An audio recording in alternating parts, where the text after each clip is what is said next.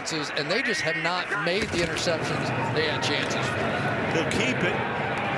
Gets into Eagle territory, tries to pick up that first down, comes close, and a flag is down.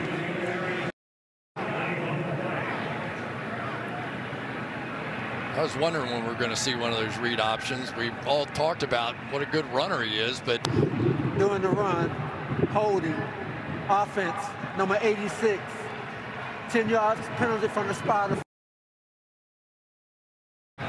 Didn't see it. Doesn't mean it didn't happen. Didn't see it.